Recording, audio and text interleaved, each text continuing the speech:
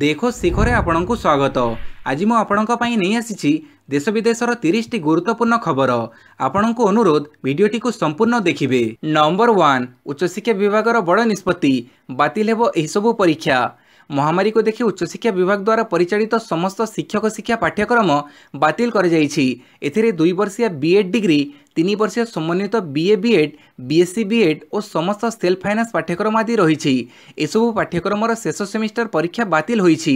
উচ্চশিক্ষা বিভাগের সূচনা অনুসারে এসব পাঠ্যক্রম বিকল্প মূল্যায়ন ব্যবস্থা লাগু হব বলে জনাপড়ি অপরপক্ষে রাজ্যের গণশিক্ষা বিভাগ দ্বারা পরিচালিত অন্য পাঠ্যক্রম যথা প্রারম্ভিক শিক্ষার ডিপ্লোমা পাঠ্যক্রম অর্থাৎ ডিএলইডি বা সিটির পরীক্ষার্থী এভাবে সমান ব্যবস্থা লাগু করা দাবি করছেন নম্বর টু ରଥଯାତ୍ରା ପାଇଁ ସୁପ୍ରିମକୋର୍ଟରେ ପୁଣି ଦୁଇଟି ପିଟିସନ୍ ରଥଯାତ୍ରା କରିବା ପାଇଁ ସୁପ୍ରିମକୋର୍ଟରେ ପୁଣି ଦୁଇଟି ପିଟିସନ୍ ଦାଖଲ ହୋଇଛି।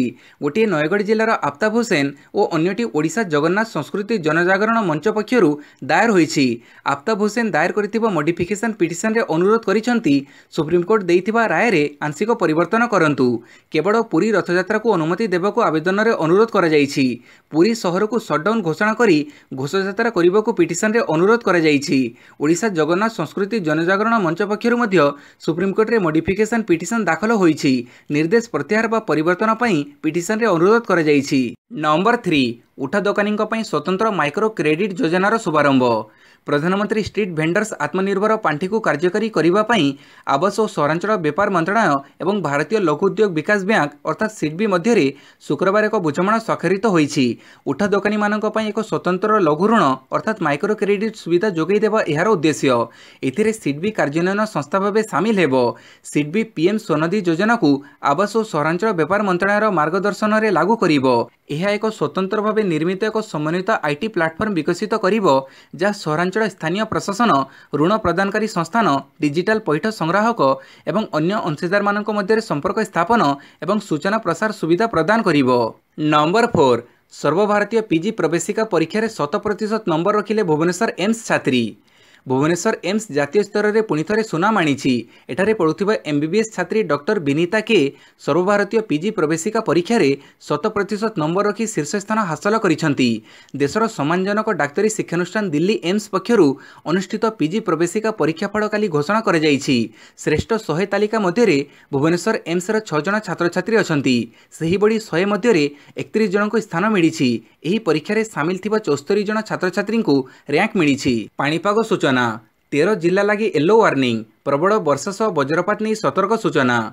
ଚବିଶ ଘଣ୍ଟା ମଧ୍ୟରେ ରାଜ୍ୟର ତେରଟି ଜିଲ୍ଲାକୁ ବର୍ଷା ବଜ୍ରପାତ ବିପଦ ନେଇ ୟେଲୋ ୱାର୍ଣ୍ଣିଂ ଜାରି କରିଛି ଆଞ୍ଚଳିକ ପାଣିପାଗ ବିଭାଗ।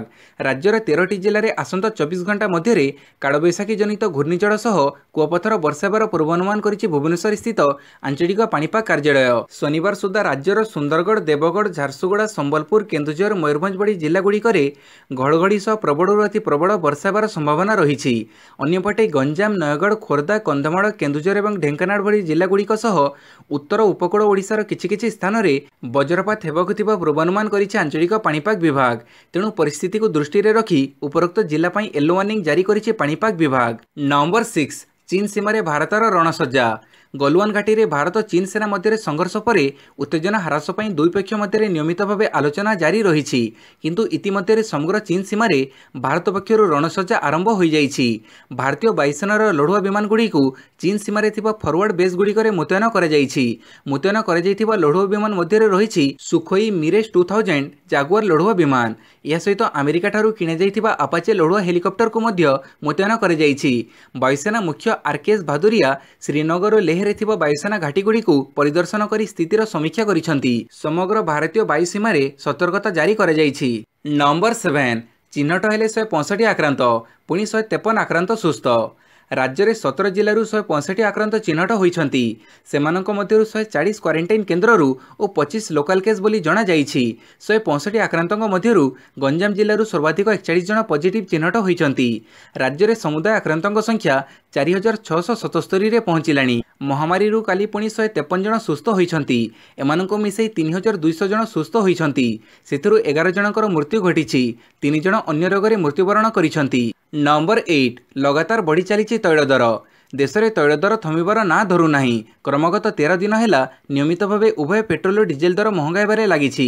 କାଲି ପେଟ୍ରୋଲ ଲିଟର ପିଛା ଦର ଛପନ ପଇସା ଓ ଡିଜେଲ ତେଷଠି ପଇସା ବଢ଼ିଛି। ଜୁନ୍ ସାତରୁ କ୍ରମାଗତ ଭାବେ ଉଭୟ ପେଟ୍ରୋଲ ଓ ଡିଜେଲ ଦର ବଢ଼ିବାରେ ଲାଗିଛି। ଇତିମଧ୍ୟରେ ପେଟ୍ରୋଲ ଦର ଛଅ ଟଙ୍କା ଏକାବନ ପଇସା ଓ ଡିଜେଲ ଦର ସାତ ଟଙ୍କା ସାତ ପଇସା ମହଙ୍ଗା ହେଲାଣି। ନମ୍ବର ନାଇନ୍ ଛତିଶଗଡ଼ ସୀମାରେ ପଙ୍ଗପାଳ ଦଳ। ଓଡ଼ିଶା ଉପରୁ ପୁରା ଟଡ଼ିନି ବିପଦ। ଚାଷୀଙ୍କ ଫସଲକୁ ବ୍ୟାପକ କ୍ଷତି ପହଞ୍ଚାଉଥିବା ପଙ୍ଗପାଳ ଦଳ ମଧ୍ୟପ୍ରଦେଶ ଓ ଛତିଶଗଡ଼ ସୀମାରେ ଅଛନ୍ତି। ଓଡ଼ିଶା ସୀମାଠାରୁ ପ୍ରାୟ ପାଞ୍ଚଶହ କିଲୋମିଟର ଦୂରରେ ପଙ୍ଗପାଳ ଦଳ ଥିଲେ ବି ଏମାନେ ଗୋଟିଏ ରାତି ମଧ୍ୟରେ ରାଜ୍ୟରେ ପହଞ୍ଚିବା କିଛି ବଡ଼ କଥା ନୁହେଁ। କୁହାଯାଉଛି ଯେ ପଙ୍ଗପାଳମାନେ ଘଣ୍ଟା ପ୍ରତି ଶହେ କିଲୋମିଟର ବେଗରେ ଗତି କରିପାରୁଛନ୍ତି।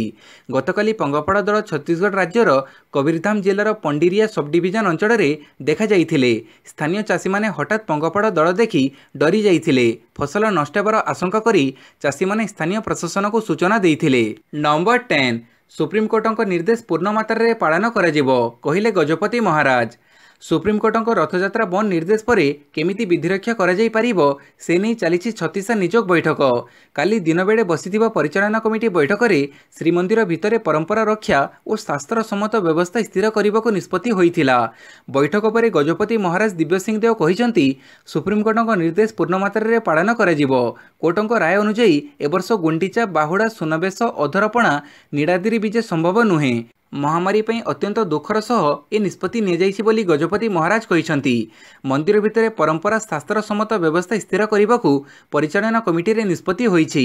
ତେବେ ସନ୍ଧ୍ୟାରେ ବସିଥିବା ଛତିଶା ନିଯୋଗ ଓ ପରିଚାଳନା କମିଟି ବୈଠକ ନିଷ୍ପତ୍ତି ପରେ ଆଜି ଶଙ୍କରାଚାର୍ଯ୍ୟଙ୍କୁ ଅବଗତ କରାଯିବ। ଏହାପରେ ଶଙ୍କରାଚାର୍ଯ୍ୟଙ୍କ ପାଖରେ ଚୂଡ଼ାନ୍ତ ନିଷ୍ପତ୍ତି ନିଆଯିବ ବୋଲି କହିଛନ୍ତି ଗଜପତି। Number eleven. ଆସିଲା ରାଜ୍ୟସଭା ନିର୍ବାଚନ ଫଳାଫଳ। ଦେଶର ଆଠ ରାଜ୍ୟରେ ଉଣେଇଶ ରାଜ୍ୟସଭା ଆସନ ପାଇଁ ହୋଇଥିବା ନିର୍ବାଚନର ଫଳାଫଳ ଆସିବାରେ ଲାଗିଛି। ଏପର୍ଯ୍ୟନ୍ତ ମିଳିଥିବା ସୂଚନାରୁ ଜଣାପଡ଼ିଛି ମଧ୍ୟପ୍ରଦେଶରେ ଭାରତୀୟ ଜନତା ପାର୍ଟିକୁ ଦୁଇଟି ଆସନ ମିଳିଥିବା ବେଳେ କଂଗ୍ରେସ ଗୋଟିଏ ଆସନରେ ବିଜୟୀ ହୋଇଛି। ସେହିପରି ରାଜସ୍ଥାନରେ କଂଗ୍ରେସକୁ ଦୁଇଟି ଓ ଭାଜପାକୁ ଗୋଟିଏ ଆସନ ମିଳିଛି। ମେଘାଳୟରେ ମେଘାଳୟ ଡେମୋକ୍ରେଟିକ୍ ଆଲିଆନ୍ସର ডক্টর ডব্লুআর খরুলুখি বিজয়ী হয়েছেন ঝাড়খণ্ডের দুই আসনের ভাজপা ঝাড়খণ্ড মুক্তিমোর্চা বিজয়ী হয়েছেন সূচনাযোগ্য উনিশ আসন মধ্যে আন্ধ্রপ্রদেশর চারি গুজরাটর চারি মধ্যপ্রদেশ তিন রাজস্থানর তিন ঝাড়খণ্ডর দুই ও মণিপুর মিজোরাম মেঘালয়ের গোটিয়ে লেখায় আসন পাই ভোট গ্রহণ করা নম্বর টুয়েলভ ভারতের ভাইরাস আক্রান্ত সংখ্যা তিন লক্ষ অশী হাজার পাঁচশো বতিশ ଜୁନ୍ ଉଣେଇଶ ତାରିଖ ସକାଳ ଆଠଟା ସୁଦ୍ଧା ସମଗ୍ର ଦେଶରେ ତିନି ଲକ୍ଷ ଅଶୀ ହଜାର ପାଞ୍ଚଶହ ବତିଶ ଜଣ ଭାଇରସ୍ ଦ୍ୱାରା ଆକ୍ରାନ୍ତ ହୋଇଛନ୍ତି। ଆକ୍ରାନ୍ତଙ୍କ ମଧ୍ୟରୁ ଦୁଇ ଲକ୍ଷ ସଡ଼ଚାଳିଶ ହଜାର ଦଶ ଜଣ ସୁସ୍ଥ ହୋଇଛନ୍ତି ଏବଂ ସେମାନଙ୍କ ମଧ୍ୟରୁ ଜଣେ ଦେଶାନ୍ତର ଯାତ୍ରା କରିଛନ୍ତି। ଗତ ଚବିଶ ଘଣ୍ଟାରେ ଆକ୍ରାନ୍ତଙ୍କ ସଂଖ୍ୟା ତେର ହଜାର ପାଞ୍ଚଶହ ସତାଅଶୀ ରହିଛି। ନମ୍ବର ଥାର୍ଟିନ୍ ହୋଲ୍ଡିଂ ଟିକସ ଆଦାୟ ଉପରେ ରୋକ ବିଏମ୍ସିକୁ ଝଟକା। ବିଏମ୍ସି ଏବେ ନୂଆ ନିୟମରେ ହୋଲ୍ଡିଂ ଟିକସ ଆଦାୟ କରୁଥିବା ବେଳେ ଏହା ଉପରେ ହାଇକୋର୍ଟ ସ୍ଥଗିତାଦେଶ ଦେଇଛନ୍ତି। ଫଳରେ ବିଏମ୍ସି ଚଳିତ ଆର୍ଥିକ ବର୍ଷରେ ଶହେ ସତାବନ କୋଟି ହୋଲ୍ଡିଂ ଟିକସ ଆଦାୟ ନେଇ ଯେଉଁ ବ୍ଲୁପ୍ରିଣ୍ଟ ପ୍ରସ୍ତୁତ କରିଥିଲା ତାହା ଉପରେ ପ୍ରତିବନ୍ଧକ ଲାଗିଯାଇଛି। ବିଏମ୍ସି ଜମିର ବର୍ତ୍ତମାନର ବେଞ୍ଚମାର୍କ ମୂଲ୍ୟ ଉପରେ ହୋଲ୍ଡିଂ ଟିକସ ଆଦାୟ କରୁଥିବାରୁ ଏହାକୁ ଚ୍ୟାଲେଞ୍ଜ କରି Confederation of Citizen Association Bhubaneswar ପକ୍ଷରୁ ହାଇକୋର୍ଟରେ ଏକ ପିଟିସନ୍ ଦାଖଲ ହୋଇଥିଲା। ଜୁନ୍ ତେରରେ ଏହାର ଶୁଣାଣି କରି ହାଇକୋର୍ଟ ନୂଆ ନିୟମରେ ହୋଲ୍ଡିଂ ଟିକସ ଆଦାୟ ଉପରେ ସ୍ଥଗିତାଦେଶ ଲଗାଇଛନ୍ତି। ଫଳରେ ବିଏମ୍ସି ଚଳିତ ଆର୍ଥିକ ବର୍ଷରେ ଶହେ ସତାବନ କୋଟି ହୋଲ୍ଡିଂ ଟିକସ ଆଦାୟ କରିବା ନେଇ ଯେଉଁ ଯୋଜନା କରିଥିଲା ତାହା ଫସର ଫାଟିଯାଇଛି। ନମ୍ବର ଫୋର୍ଟିନ୍ କୌଣସି ଭାରତୀୟ ସୈନିକକୁ ବନ୍ଧକ ରଖିନାହୁଁ କହିଲା ଚୀନ୍। ଚୀନ ସେନା ଦ୍ୱାରା ବନ୍ଧକ ରଖାଯାଇଥିବା ଦଶ ଭାରତୀୟ ଯବାନ ଓ ଅଫିସରଙ୍କୁ କାଲି ମୁକ୍ତ କରାଯିବା ଘଟଣାକୁ ନେଇ ସନ୍ଦେହ ପ୍ରକାଶ ପାଇଛି। କାରଣ ଉଭୟ ଭାରତୀୟ ସେନା ଓ ଚୀନ ଏପରି ଖବରକୁ ଖଣ୍ଡନ କରିଛନ୍ତି। ଭାରତୀୟ ସେନା କହିଥିଲା ଯେ କୌଣସି ଯବାନ ବା ଅଫିସର ନିଖୋଜ ନାହାନ୍ତି। ତେବେ କାଲି ସକାଳେ ଭାରତୀୟ ଗଣମାଧ୍ୟମରେ ରିପୋର୍ଟ ପ୍ରକାଶ ପାଇଲା ଯେ ଦୁଇ ଦେଶର ସେନା ଅଧିକାରୀଙ୍କ ମଧ୍ୟରେ ଆଲୋଚନା ପରେ ବନ୍ଧକ ରଖାଯାଇଥିବା ଚାରି ଅଫିସର ଓ ଛଅ ଯବାନଙ୍କୁ ମୁକ୍ତ କରାଯାଇଛି। କିନ୍ତୁ କୌଣସି ଭାରତୀୟ ଯବାନଙ୍କୁ ବନ୍ଧକ ରଖାଯାଇ ନାହିଁ ବୋଲି ଚୀନ ପକ୍ଷରୁ କୁହାଯାଇଛି। ଚୀନ ବୈଦେଶିକ ମନ୍ତ୍ରଣାଳୟ ମୁଖପାତ୍ର ଝାଓ ଲିଜାନ୍ କହିଛନ୍ତି ଯେ ଚୀନ ସେନା କୌଣସି ଭାରତୀୟ ସୈନିକକୁ ବନ୍ଧକ ରଖିନାହିଁ ଦୈନିକ ସାମ୍ବାଦିକ ସମ୍ମିଳନୀ ଅବସରରେ ସେ ଏକଥା କହିଛନ୍ତି। ନମ୍ବର ଫିଫ୍ଟିନ୍ ଆଶା ଦେଖେଇଲା ହୁ ବର୍ଷ ସରିବା ପୂର୍ବରୁ ମିଳିବ ମହାମାରୀ ଟୀକା। ମହାମାରୀ ପାଇଁ ସାରା ବିଶ୍ୱରେ ସ୍ଥିତି ଜଟିଳ ହୋଇଛି। ଏହାର ମୁକାବିଲା ପାଇଁ କେବେ ଟୀକା କିମ୍ବା ଔଷଧ ବାହାରିବ ତାକୁ ନେଇ ସସ୍ପେନ୍ସ ଲାଗି ରହିଛି। କିନ୍ତୁ ଏସବୁ ଭିତରେ ବିଶ୍ୱ ସ୍ୱାସ୍ଥ୍ୟ ସଂଗଠନ ଆଶ୍ୱସ୍ତ କରିବା ଭଳି ଖବର ଦେଇଛି। ହୁର ମୁଖ୍ୟ ବୈଜ୍ଞାନିକ ଡକ୍ଟର ସୌମ୍ୟ ସ୍ୱାମୀନାଥନ କହିଛନ୍ତି ଯେ ଆମର ଆଶା ଚଳିତ ବର୍ଷ ଶେଷ ହେବା ପୂର୍ବରୁ ମହାମାରୀର ମୁକାବିଲା ପାଇଁ ଟିକା ବାହାରିବ। ଏଥିପାଇଁ ହୁ ଜୋରଦାର ପ୍ରୟାସ ଜାରି ରଖିଛି। ବର୍ତ୍ତମାନ ବିଶ୍ୱରେ ଦଶଟି ଟିକା ଉପରେ କାର୍ଯ୍ୟ କରାଯାଉଛି। ଏହି ଦଶଟି ଟିକାର ପ୍ରାଥମିକ ପରୀକ୍ଷା ପରେ ଏହାକୁ ମଣିଷ ଶରୀରରେ ଟେଷ୍ଟିଂ କରାଯାଉଛି। ସେହିପରି ଏହା ମଧ୍ୟରୁ ତିନିଟି ଟିକା ପ୍ରାୟ ଶେଷ ପର୍ଯ୍ୟାୟରେ ପହଞ୍ଚି ଯାଇଛି। ଆମର ଆଶା ଓ ବିଶ୍ୱାସ ଯେ ଏହା ଶେଷ ପର୍ଯ୍ୟାୟରେ ବି ସଫଳ ହେବ। ସେହିପରି ବର୍ଷ ସରିବା ଆଗରୁ ଆମ ପାଖରେ ଟିକା ରହିଥିବ ବୋଲି ଆମେ ଆଶାବାଦୀ। ନମ୍ବର ସିକ୍ସଟିନ୍ ଚାଇନା ସହ ସଂଘର୍ଷରେ ଆହତ ହୋଇଥିଲେ ଛସ୍ତରୀ ଯବାନ। ଚାଇନା ସହ ଲଦାଖର ଗଲୱାନ ଭ୍ୟାଲିରେ ହୋଇଥିବା ରକ୍ତାକ୍ତ ସଂଘର୍ଷରେ ଭାରତର କୋଡ଼ିଏ ଜଣ ଯବାନ ଶହୀଦ ହୋଇଥିବା ବେଳେ ଛସ୍ତରୀ ଜଣ ଆହତ ହୋଇଥିଲେ। ଏନେଇ ସେନା ପକ୍ଷରୁ ସୂଚନା ଦିଆଯାଇଛି। ଆହତ ଯବାନମାନଙ୍କୁ ସେନା ପକ୍ଷରୁ ବିଭିନ୍ନ ହସ୍ପିଟାଲରେ ଭର୍ତ୍ତି କରାଯାଇଥିଲା। ଏବେ ସେମାନଙ୍କ ସ୍ୱାସ୍ଥ୍ୟାବସ୍ଥା ସୁଧୁରୁଛି ଓ ଯବାନମାନେ ଖୁବ୍ ଶୀଘ୍ର କାର୍ଯ୍ୟରେ ଯୋଗ ଦେବେ ବୋଲି ସେନା ସ୍ପଷ୍ଟ କରିଛି। ଆସନ୍ତା ପନ୍ଦର ଦିନ ମଧ୍ୟରେ ସେମାନେ ସମ୍ପୂର୍ଣ୍ଣ ସୁସ୍ଥ ହୋଇ କାର୍ଯ୍ୟରେ ଯୋଗ ଦେବେ। ସେହିପରି ଅନ୍ୟାନ୍ୟ ହସ୍ପିଟାଲରେ ଭର୍ତ୍ତି ହୋଇଥିବା ଛପନ ଜଣ ଯବାନ ଏବେ ସମ୍ପୂର୍ଣ୍ଣ ସୁସ୍ଥ ହୋଇଯାଇଛନ୍ତି। ସେମାନେ ଗୋଟିଏ ସପ୍ତାହ ମଧ୍ୟରେ କାର୍ଯ୍ୟରେ ଯୋଗ ଦେଇପାରିବେ। ନମ୍ବର ସେଭେଣ୍ଟିନ୍ କୋଭିଡ୍ ନାଇଣ୍ଟିନ୍ ଜନିତ ମୃତ୍ୟୁ ସଂଖ୍ୟାରେ ଆମେରିକା ପ୍ରଥମ। ସମଗ୍ର ବିଶ୍ୱରେ କୋଭିଡ୍ ନାଇଣ୍ଟିନ୍ ଜନିତ ମୃତ୍ୟୁ ସଂଖ୍ୟା କ୍ଷେତ୍ରରେ ଭାରତର ସ୍ଥାନ ଅଷ୍ଟମରେ ଥିବା କଥା ବିଶ୍ୱରେ ଭାଇରସ୍ ସଂକ୍ରମଣ ସମ୍ବନ୍ଧୀୟ ଘଟଣା ଉପରେ ଦୃଷ୍ଟି ରଖୁଥିବା ଏକ ୱେବସାଇଟ୍ରୁ ଜଣାପଡ଼ିଛି। ୱାର୍ଲଡୋମିଟର ନାମକ ଏହି ସଂସ୍ଥାନର ୱେବସାଇଟ୍ ତଥ୍ୟରୁ ଜଣାପଡ଼ିଛି ଯେ କ୍ରମାନ୍ୱୟରେ ଯୁକ୍ତରାଷ୍ଟ୍ର ଆମେରିକା ବ୍ରାଜିଲ ଇଂଲଣ୍ଡ ଏବଂ ଇଟାଲୀ ପ୍ରଭୃତି ଦେଶରେ କୋଭିଡ୍ ନାଇଣ୍ଟିନ୍ ଜନିତ ମୃତ୍ୟୁ ସଂଖ୍ୟା ଅଧିକ। ଭାରତରେ କୋଭିଡ୍ ନାଇଣ୍ଟିନ୍ ଜନିତ ମୃତ୍ୟୁ ସଂଖ୍ୟା ବାର ହଜାର ପାଞ୍ଚଶହ ସଇଁତିରିଶରେ ପହଞ୍ଚିଛି। ଏବେ ଆମେରିକାରେ ମୃତ୍ୟୁ ସଂଖ୍ୟା ରହିଛି ଏକ ଲକ୍ଷ କୋଡ଼ିଏ ହଜାର ଛଅଶହ ଅଠାଅଶୀ।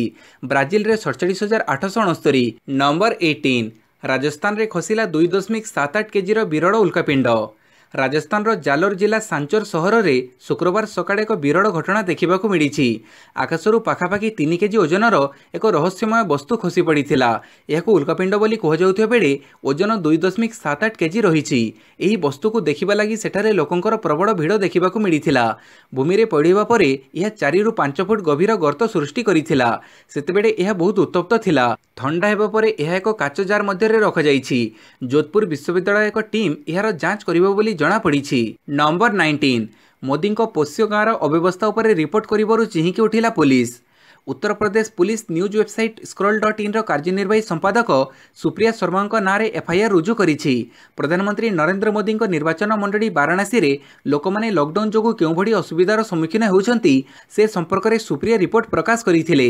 ବିଶେଷ କରି ସାଂସଦ ଆଦର୍ଶ ଗ୍ରାମ ଯୋଜନା ଅଧୀନରେ ମୋଦି ପୋଷ୍ୟ ଭାବେ ଗ୍ରହଣ କରିଥିବା ଡୋମାରୀ ଗାଁରେ ଲୋକେ ସବୁଠାରୁ ଅଧିକ ଅସୁବିଧାର ସମ୍ମୁଖୀନ ହେଉଥିବା ସାମ୍ବାଦିକ ସୁପ୍ରିୟା ତଥ୍ୟ ସହ ପ୍ରକାଶ ରିପୋର୍ଟରେ ଉଲ୍ଲେଖ କରିଥିଲେ। ତେବେ ଏହି ରିପୋର୍ଟକୁ ପରୋକ୍ଷରେ ବିରୋଧ କରି ଉତ୍ତରପ୍ରଦେଶର ବାରାଣାସୀ ପୁଲିସ ସୁପ୍ରିୟାଙ୍କ ନାଁରେ ଅନୁସୂଚିତ ଜାତି ଜନଜାତି ନିରୋଧ ଆଇନ ଉଣେଇଶହ ଅଣାନବେ ଅନୁଯାୟୀ ଦଫା ଲଗାଇଛି। ଜୁନ୍ ତେରରେ ରାମପୁର ପୁଲିସ ଷ୍ଟେସନରେ ଏଫ୍ଆଇଆର୍ ରୁଜୁ କରାଯାଇଥିଲା। ନମ୍ବର ଟ୍ୱେଣ୍ଟି ଓଡ଼ିଶାର ମିଲ୍କସ୍ ମନ୍ତ୍ରାକୁ ଛସ୍ତରୀ କୋଟି ଋଣ ଦେଲା ଆମେରିକାର ଡିଏଫ୍ସି। ପ୍ୟାକେଟ୍ ଓ ପାଉଚ୍ ଜରିଆରେ କ୍ଷୀର ବିକ୍ରି କରୁଥିବା ଓଡ଼ିଶାର କ୍ଷୀର କମ୍ପାନୀ ମିଲ୍କସ୍ ମନ୍ତ୍ରାକୁ ଛସ୍ତରୀ କୋଟି ଷୋହଳ ଲକ୍ଷ ଅଠାନବେ ହଜାର ଟଙ୍କା ଋଣ ମିଳିଛି। ଆମେରିକାର US International Development Finance Corporation ଏହି ଋଣ ପ୍ରଦାନ କରିଛି।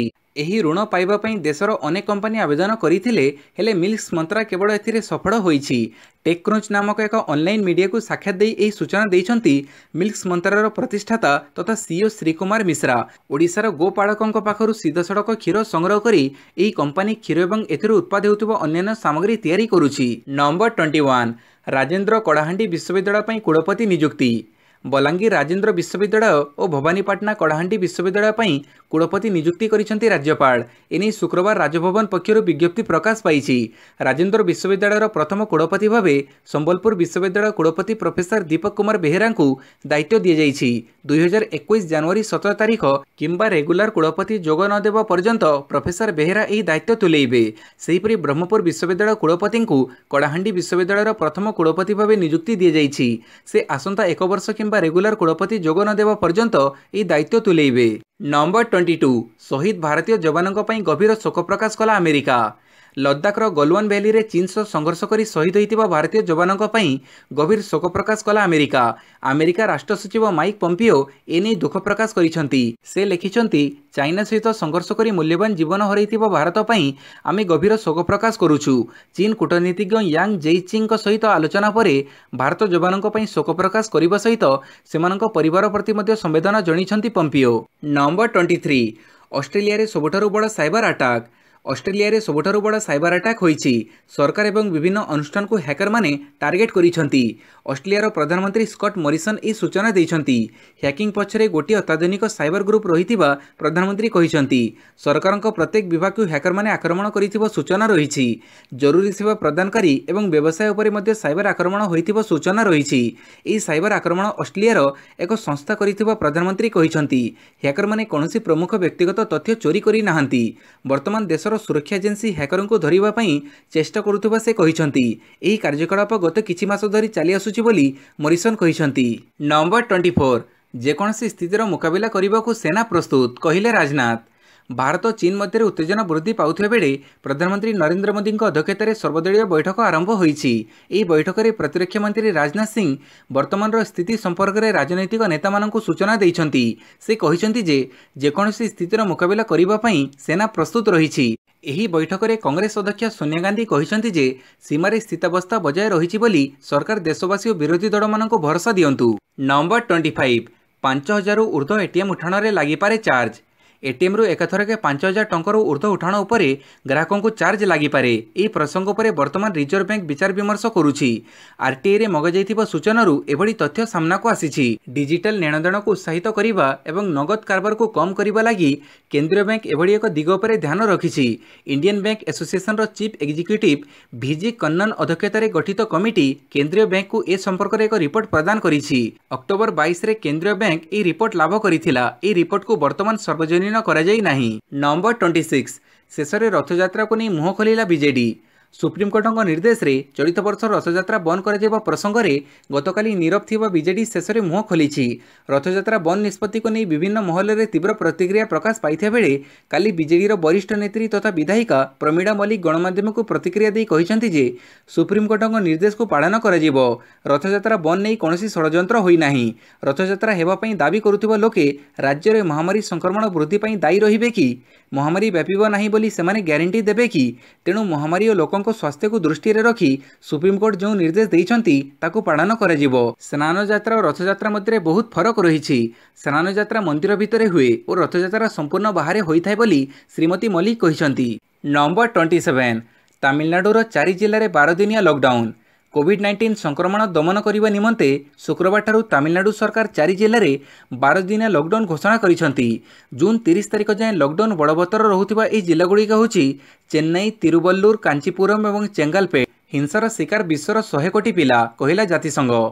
ବିଶ୍ୱରେ ରହୁଥିବା ଅଧେ ପ୍ରାୟ ଶହେ କୋଟି ପିଲା ମାନସିକ ହିଂସାର ଶିକାର ହେଉଛନ୍ତି ନିର୍ଯାତନା ପାଇଁ ଆହତ ହେଉଛନ୍ତି ଏପରିକି ପ୍ରାଣ ମଧ୍ୟ ହରାଉଛନ୍ତି। ବିଭିନ୍ନ ଦେଶର ସରକାରମାନେ ପିଲାମାନଙ୍କ ସୁରକ୍ଷା ପାଇଁ ପ୍ରସ୍ତୁତ କରିଥିବା ଯୋଜନାକୁ କାର୍ଯ୍ୟକାରୀ କରୁନଥିବାରୁ ଏଭଳି ଘଟଣା ଘଟୁଛି। ପିଲାମାନଙ୍କ ବିରୋଧରେ ହେଉଥିବା ହିଂସା ନେଇ ବିଶ୍ୱର ଷ୍ଟାଟସ୍ ରିପୋର୍ଟ ଦୁଇହଜାର କୋଡ଼ିଏରେ ଏ ବିଷୟରେ କୁହାଯାଇଛି। ସେ ପଞ୍ଚାବନଟି ଦେଶରେ ଘଟୁଥିବା ଘଟଣାକୁ ସମୀକ୍ଷା କରି ଏହି ରିପୋର୍ଟ ପ୍ରସ୍ତୁତ କରାଯାଇଛି। Number thirty Stuart Baxter Odisha ଏଫ୍ସିର ମୁଖ୍ୟ କୋଚ୍ ଇଣ୍ଡିଆନ୍ ସୁପର ଲିଗ୍ର ସପ୍ତମ ସଂସ୍କରଣ ପୂର୍ବରୁ ଷ୍ଟୁଆର୍ଟ ବକ୍ସଟରଙ୍କୁ ମୁଖ୍ୟ କୋଚ୍ ନିଯୁକ୍ତ କରିଛି ଓଡ଼ିଶା ଏଫ୍ସି ଅଭିଜ୍ଞ ବକ୍ସଟରଙ୍କ ସହ ଭୁବନେଶ୍ୱର ଭିତ୍ତିକ କ୍ଲବ୍ ଦୁଇ ବର୍ଷିଆ ଚୁକ୍ତି କରିଛି। ଇଂଲଣ୍ଡରେ ଜନ୍ମିତ ବକ୍ସଟରଙ୍କ ପଚିଶ ବର୍ଷର କୋଚିଂ ଅଭିଜ୍ଞତା ରହିଛି। ସେ ପୂର୍ବରୁ ଦକ୍ଷିଣ ଆଫ୍ରିକା ଜାତୀୟ ଦଳ ଓ ଉଣେଇଶ ବର୍ଷରୁ କମ୍ ଇଂଲଣ୍ଡର ଦଳର କୋଚ୍ ରହିସାରିଥିବା ବେଳେ ଆସନ୍ତା ସିଜନ୍ ପାଇଁ ଓଡ଼ିଶା ଏଫ୍ସି ଦଳର ଦାୟିତ୍ୱ ନେଇଛନ୍ତି।